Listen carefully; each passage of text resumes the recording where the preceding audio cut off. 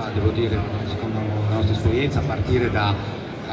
uh, conference di Facebook che ha introdotto per Messenger una serie di funzionalità di framework che facevano, diciamo, si accodavano a quelle che erano già presenti per altre piattaforme tipo Telegram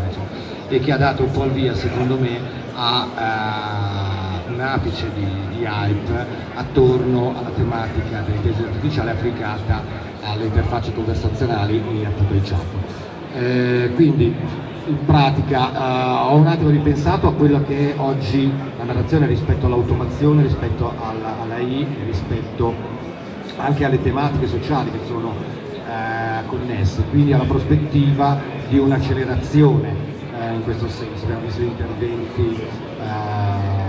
attorno alla, tematica della,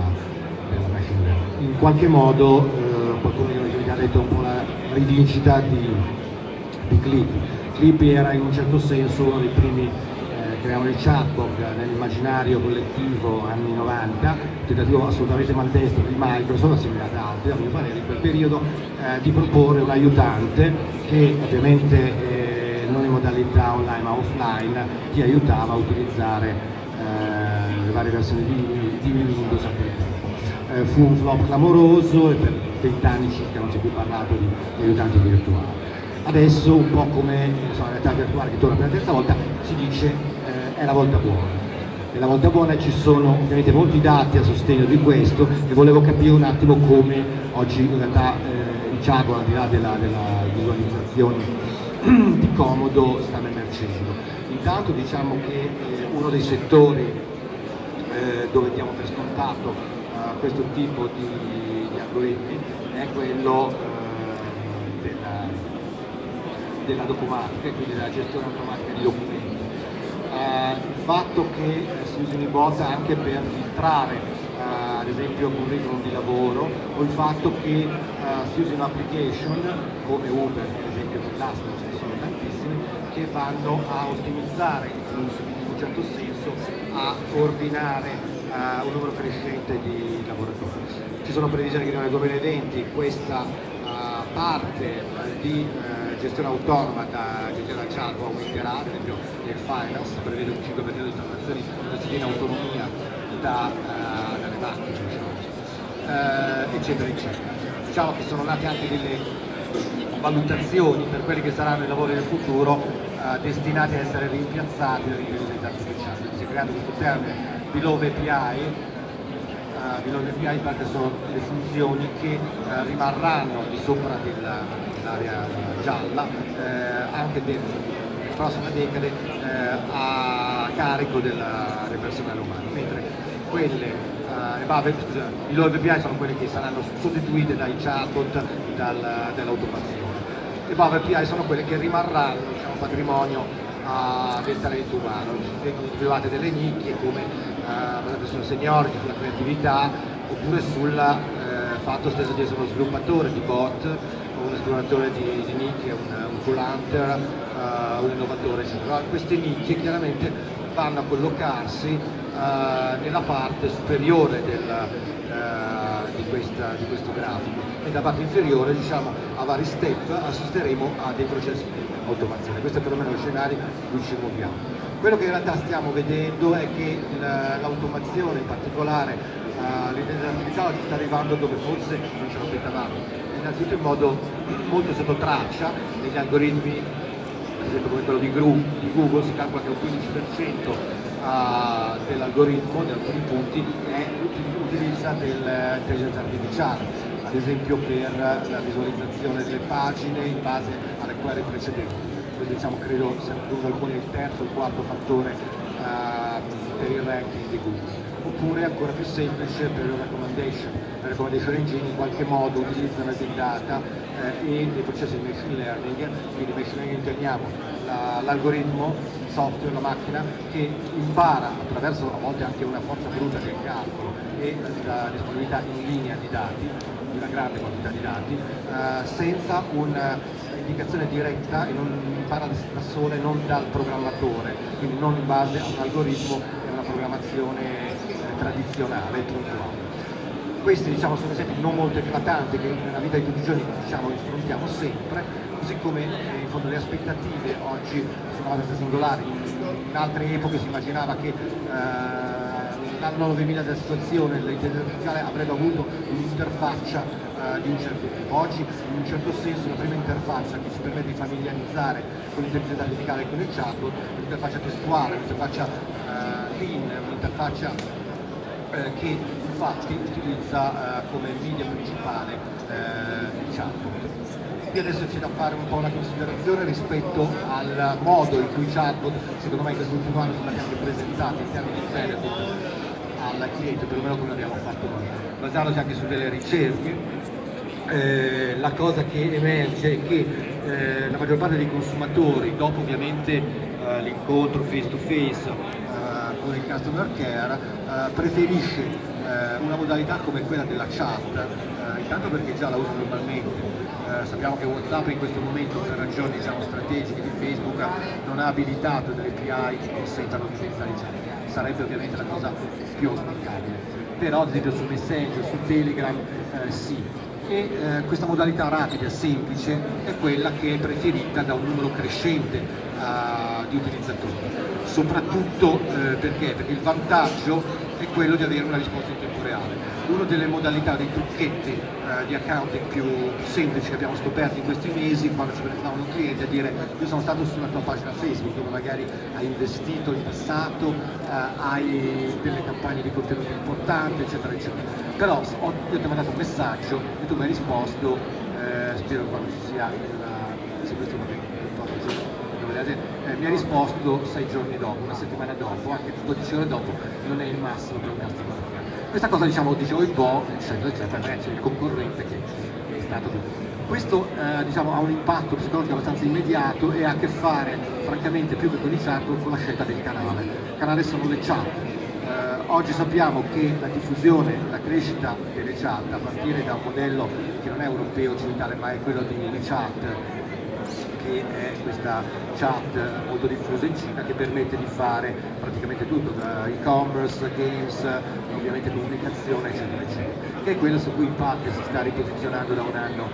Facebook Messenger. Uh, questo modello diciamo, è in crescita molto più rapida rispetto ai social network, cioè uh, quegli ambienti che sono nati praticamente sul desktop e comunque sono nati con una logica che non è quella della comunicazione veloce, istantanea, uh, inizialmente testuale, poi sempre più ovviamente uh, immagine e video. Quindi laddove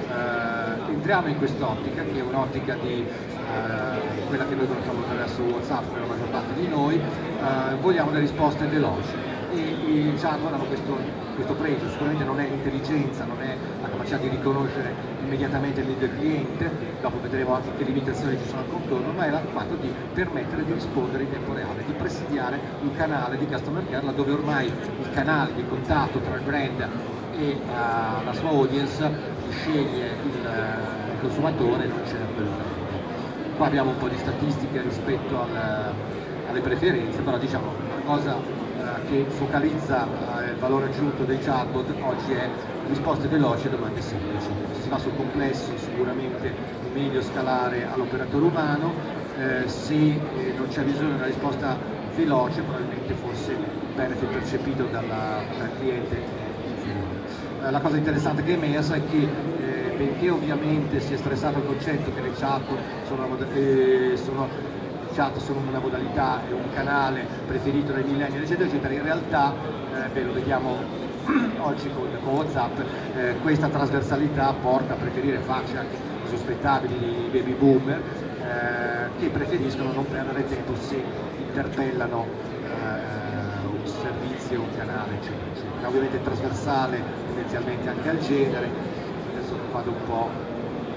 sul veloce. Ma sostanzialmente i chatbot sono un tool conversazionale, un marketing tool conversazionale in grado di dialogare con l'utente da una piattaforma di messaggistica come Facebook Messenger o WeChat, eh, che sono le due maggiori piattaforme di, di chat di mondo. In pratica se dobbiamo raccontarlo spesso un assistente virtuale alle prime armi che poi imparerà nel tempo. Eh, questo, questa situazione diciamo, eh, è legata a quello che abbiamo detto prima, al fatto della crescita eh, molto più rapida oggi che assistiamo nelle, nelle mobile chat, si presuppone che nel 2019, secondo la ricerca, eh, il 65% del, eh, delle persone, quindi oggi calcoliamo che 2 miliardi mi pare utilizzano social quindi uh,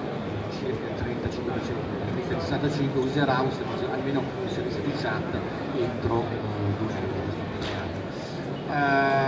L'altro cosa interessante dei chatbot che anche questo ha poco a che fare con l'intelligenza artificiale è che di fatto sono delle micro applicazioni.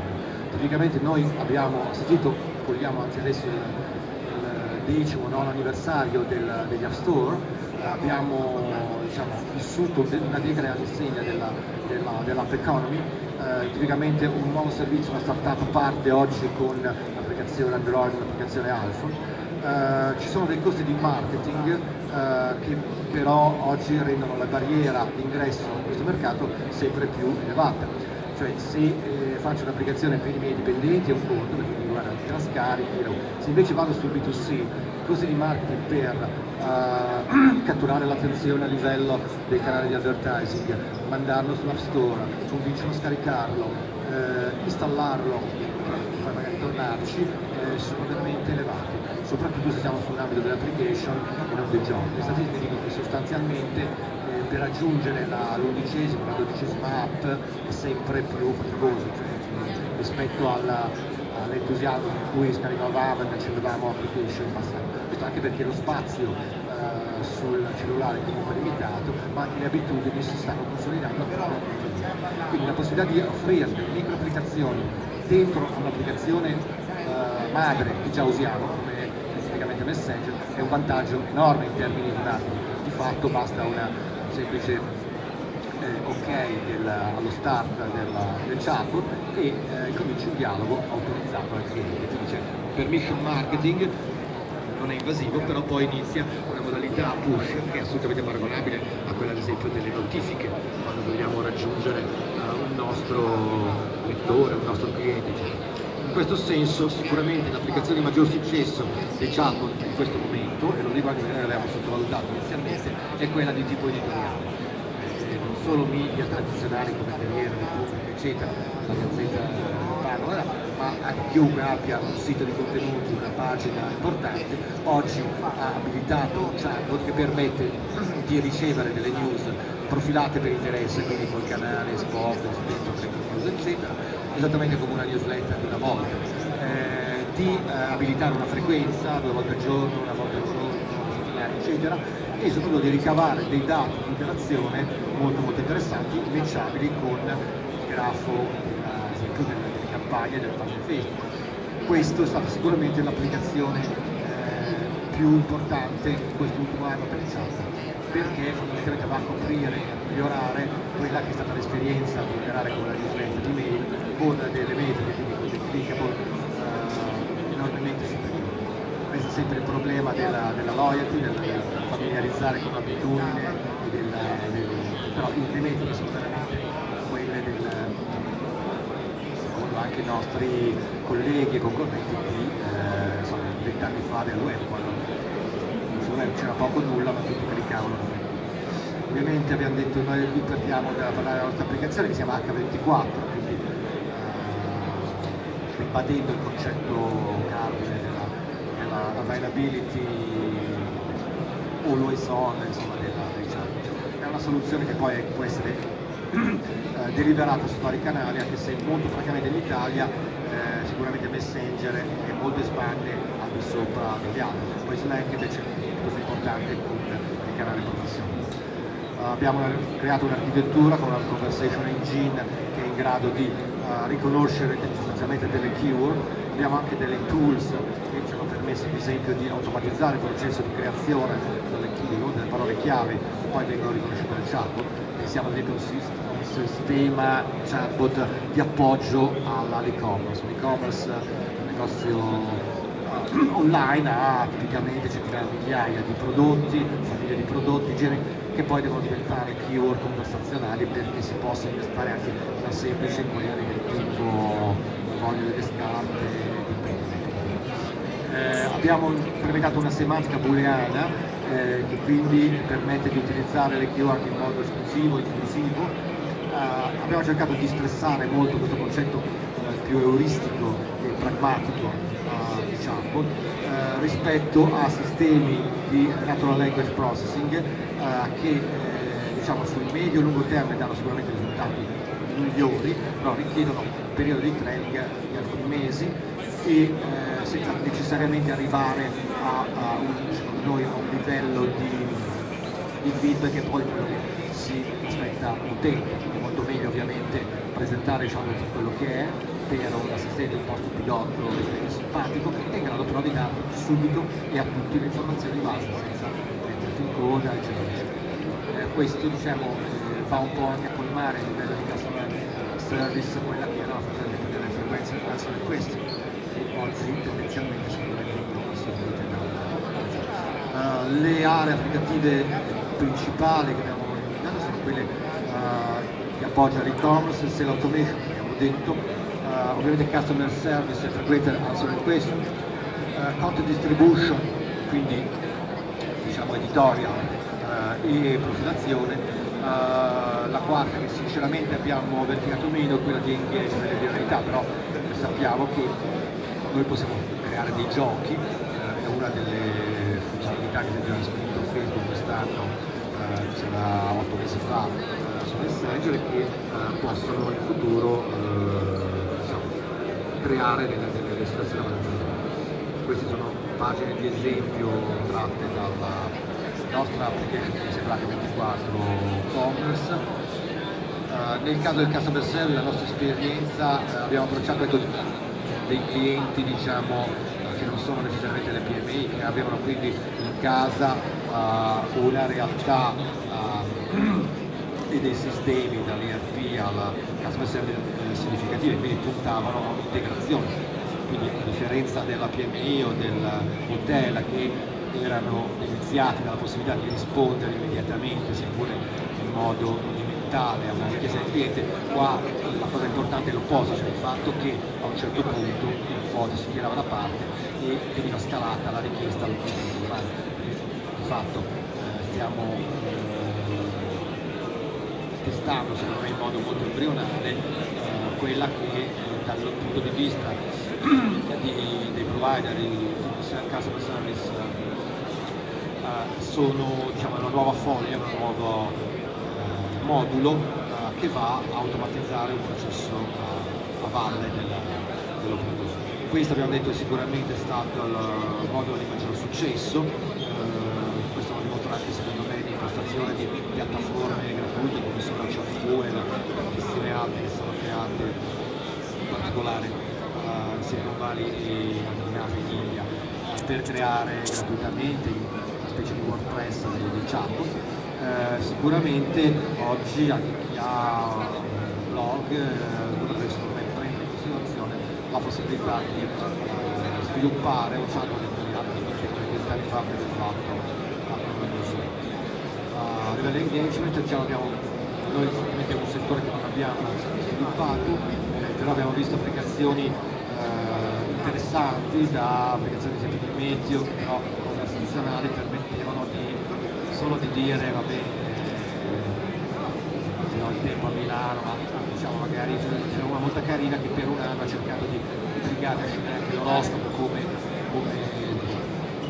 come, evoluzione del servizio uh, un'altra che eh, a pensarsi bene non è nulla di particolare però ti permetteva di applicare dei filtri eh, alla tua immagine su Amazon o una foto qualsiasi che inviavi questo in fondo non è molto sbalorditivo rispetto a quello che fanno oggi eh, Snapchat o lo stesso Messenger con i filtri per i volti, ma eh, farli vedere solamente una chat eh, diciamo, è comunque una funzione interessante, stiamo parlando di bot che hanno milioni di, eh, di follower, delle casistiche secondo me interessanti a di, di uh, questi diciamo va bene ovviamente piattaforma che noi utilizziamo per attaccare chatbot permette di gestire degli analytics e di essere interfacciata attraverso delle API se uno vuole integrarla questo riguarda la nostra esperienza, siamo partiti subito abbiamo le API, siamo molto lean, però non è assolutamente stata la, la cosa di cui c'è stata richiesta poi. Questo riassunto, in pratica i benefit della, perlomeno nella, nella, nella narrazione spicciola che noi stiamo verificando sul terreno, sul campo, eh, diciamo sono eh, tool di customer service always on,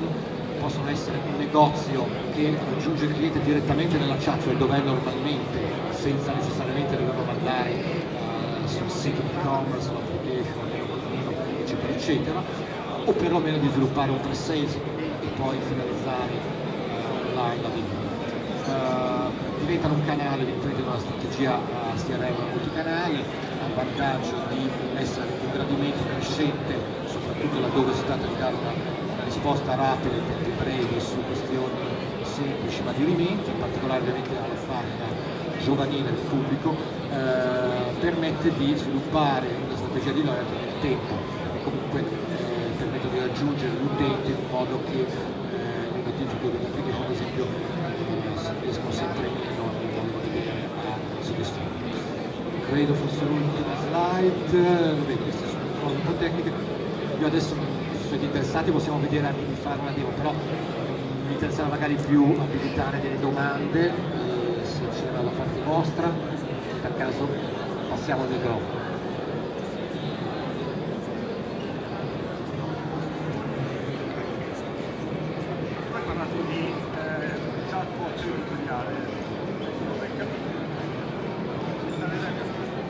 Installerebbe il chatbot nel sito, mettiamo per esempio quotidiano, online, del genere e ti eh, suggerisce all'utente delle notizie riguardo al proprio profilo o di casi di obiettivi in cui sono inventare questo tipo di chat. Allora, dire, allora, il tema era come viene profilato per i, eh, i contenuti che tu fai. Innanzitutto il chat il prodotto è l'invia la profilazione nella realtà viene fatta una volta all'inizio, poi certo puoi cambiare la frequenza, puoi cambiare la frequenza, però sappiamo che in realtà il 90% lo decide quando magari non ha capito bene il Poi può cambiare nel tempo, puoi mandare una sarde dicendo va bene, via. Puoi fare, diciamo, quello che volevo rimarcare è che è un canale push, quindi di delivery, non è tirato dall'utente ma è spinto eh, ed è ideale effettivamente per eh, inviare i contenuti. Molto francamente nella mia esperienza non hanno, di là dei diciamo che mi guardo per ragioni di lavoro, che uso sono quelli editoriali, io TechCrunch ma anche il Guardian, me li leggo, me li leggo sull'esterno, poi clicco, vado sul sito, anzi nel caso di Facebook si apre la pagina di bagno dentro, gabbiato dentro a Facebook, nel caso di Telegram vado sul sito. Okay? La profilazione poi può essere integrata con la profilazione uh, diciamo, dell'utente, però questo allora richiede un, livello di, di, ulteriore da parte del giornalista, gli chiedi semplicemente il permesso di mandare i contenuti, gli chiedi quali preferisce, con che frequenza. Dopodiché puoi eh, creare degli elementi di database e matcharli, non so se hai fatto una, una pagina Facebook o cose del genere. Questa, questa parte obiettivamente è reale ma è ulteriore dal canale tipo, c'è sulla pagina Facebook di TouchCrunch, eh, vengono pubblicate le notizie, vengono No, ma la, la, pagina è un esempio, cioè la realtà è questa, immaginiamo che in qualche modo poi questo bottone, che può essere sul sito, sulle mail, la pubblicità Facebook, prescinde dalla pagina e ti manda direttamente dentro a Messenger. E ti dice, ah questa è, hai detto la, il, il chatbot di, benvenuto nel chatbot di, del crunch, eh, possono andare a start, start lo autorizzi e poi dopo inizia la conversazione. In questo senso ricorda un po' il meglio l'email marketing.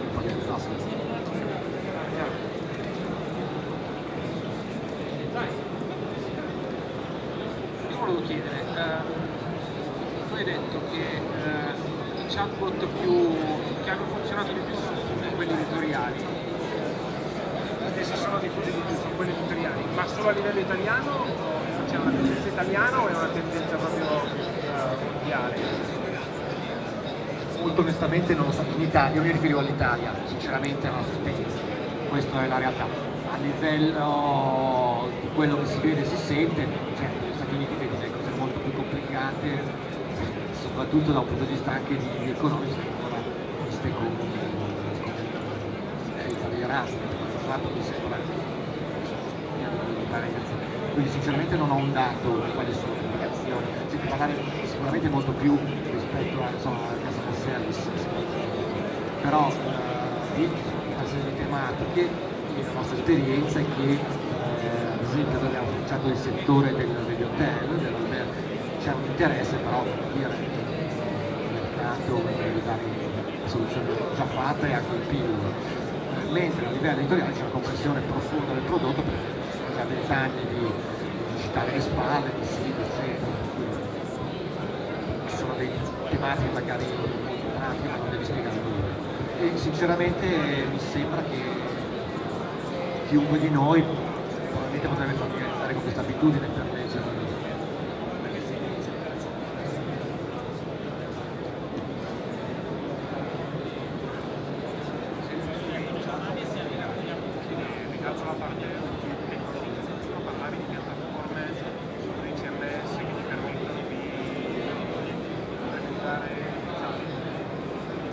Allora, quando parlo di